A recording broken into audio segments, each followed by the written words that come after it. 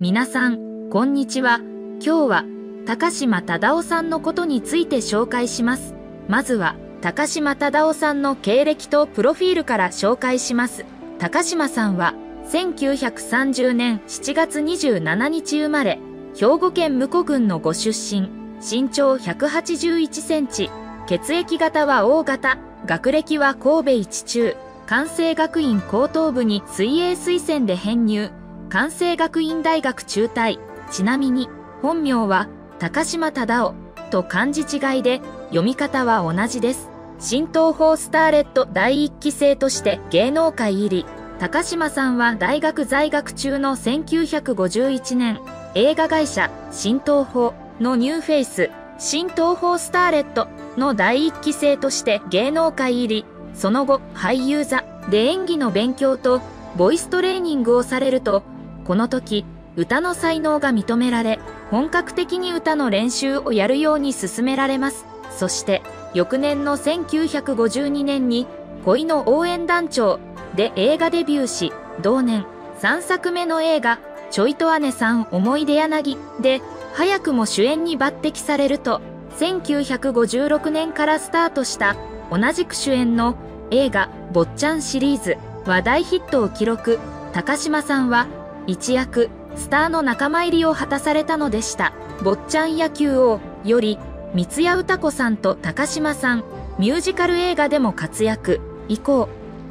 高島さんは数多くの映画で主演を務められるのですが、君はミュージカルスターになれる、と菊田和夫さんに誘われて、東宝に移籍されると、1963年、日本初のブロードウェイミュージカル、マイ・フェア・レディに出演。高島さんはこのミュージカルで高い評価を受け、以降、ミュージカル映画でも活躍されています。東京宝塚劇場前より、ごちそうさま、クイズドレミファドンで人気司会者に、そして、1966年、テレビ番組、土曜ショーの司会者をしたことをきっかけに、テレビでの仕事が増え始めると、1970年代には本格的に司会業に進出。1971年から1998年、ごちそうさま、ごちそうさまより、住花代さんと高島さん、1976年から1988年、クイズドレミファドン、クイズドレミファドンより、江藤博俊さん、高島さん、坂上俊恵さん、1977年から1998年、アメリカ横断ウルトラクイズ、アメリカ横断ウルトラクイズより高島さんと石川真紀子さんなどで司会を務められたほか1973年から1998年1999年から2001年とゴールデン洋画劇場では長年にわたって映画の解説を務められています。ゴールデン洋画劇場より1964年に高島忠夫、住花代の長男、である生後5ヶ月の高島道夫が、当時の家政婦 A によって高島宅の風呂桶に沈められて殺害された事件である1964年8月24日未明、東京都世田谷区上野毛に在住していた忠尾型より警察及び消防へ息子が風呂に沈められ、部屋が荒らされているとの通報があった同日午前2時40分頃、高島宅に住み込みで働いている家政婦 A が、長男の姿が見当たらない、と高島夫妻に連絡し、直ちに高島夫妻と家政婦 A が家中を探し回った。室内は物色されており、風呂場できちんと蓋の閉まった風呂桶の中に沈められている長男が発見されて大騒ぎとなった。警察や消防への通報とともに、長男は直ちに自宅近くの小倉医院へ搬送されたが、すでに心肺停止状態であり、人工呼吸などが試みられたが助からなかった。通報を受けた警視庁捜査一課と所管の玉川警察署は、殺人事件として捜査を開始した。この家政婦 A はもともと高島らのファンであり、地元の新潟県の中学校を1963年に卒業してから、都内の墨田区にある会社で仕事をしていた。そして、そこにある会社にたまたま、高島夫妻の知人がいる縁で、1963年暮れより高島夫妻宅に住み込みで、家政婦として働くこととなった高島夫妻はこの家政婦をよく可愛がり、また家政婦も高島夫妻によく尽くしていたが、高島夫妻に長男が生まれた後は、長男へ愛情が移ってしまい、自分は疎遠に扱われるようになったと感じていた。そして高島夫妻が仕事でアメリカへ行くことが決まった時に、他の家政婦へはお土産を買ってくると約束していたのに、自分は何も言われなかったと思い込み悩んだ末に犯行に及んだという。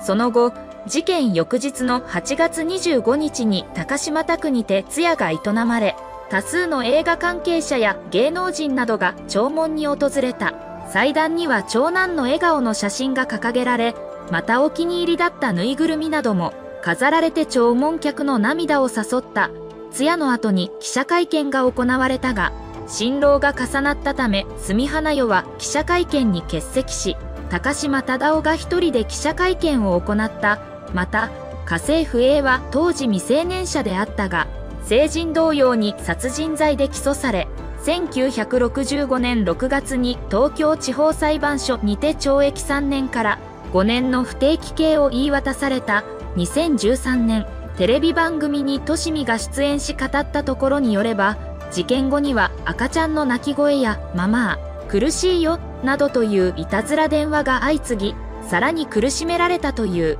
このテレビ番組に出演した時は事件から49年経過していたがトラウマから未だに風呂には入れずシャワーのみで済ませていることなどが語られた。成人後に俳優として活躍している高島正宏と高島正信は、事件後に生まれた次男、三男である高島道夫ちゃん誘拐事件は、熱狂的宝塚ファンであって、住花代さんのファンでもあった、17歳の家政婦が犯人でした。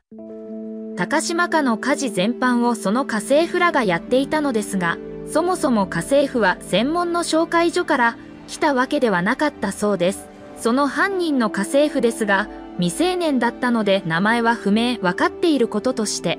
出身地が新潟県で地元の中学校を1963年に卒業してから上京。上京当初は東京都墨田区にある会社で働いていたといいます。ただ、たまたまこの会社に高島夫妻の知り合いがいたこともあり、1963年暮れから高島家に家政婦として住み込みで働くことになったのだとか、そんな家政婦を高島夫妻はよく可愛がっていたそうです。しかし、家政婦はというと、住花代さんのアクセサリーを盗んだり、高島家の来客の財布から1万円を抜き取ったこともあったとか、それでも高島夫妻はクビにせず、最終的には高島忠夫さんが付き人として仕事に同伴させるようにしたそうです。家政婦はそんな高島夫妻の両親を踏みにじったわけですが、犯行の動機についても、このような自分勝手な理由を述べているのです。高島夫妻に長男が生まれた後は、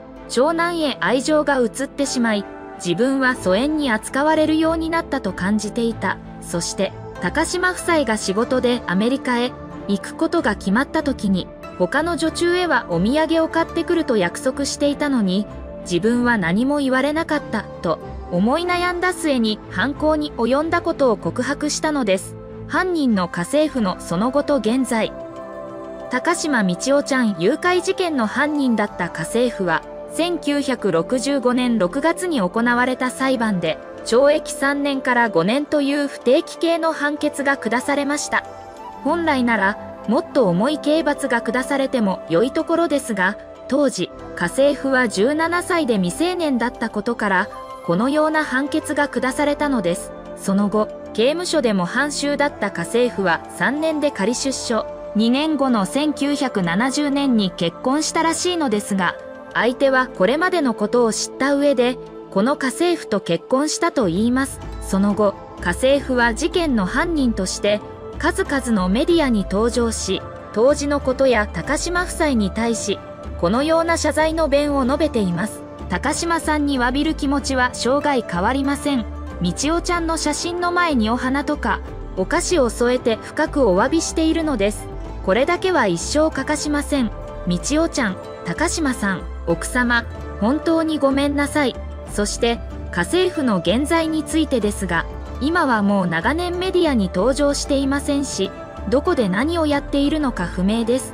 ただ、年齢はまだ70代なので、どこかでひっそりと生活していることでしょう。自宅で息を引き取った高島、通夜や葬儀、告別式については、としみの最後は家族で見送りたいという希望から家族のみで密葬を執り行ったお別れ会などの開催は予定していない。この度所属事務所を通し、高島正宏と高島正信がコメントを発表。高島正宏は、母曰く最後は眠るように旅立っていったのがせめてもの救いです。と、高島正信は、父は、最後まで明るくよく通る声で笑ったり、話したりしながら、大好きだったフリオの歌声に包まれて、本当に穏やかに旅立ちましたと述べている。最後までご視聴いただき、ありがとうございました。何かございましたらコメントください。よかったら高評価とチャンネル登録もよろしくお願いします。ではまた次回でお会いしましょう。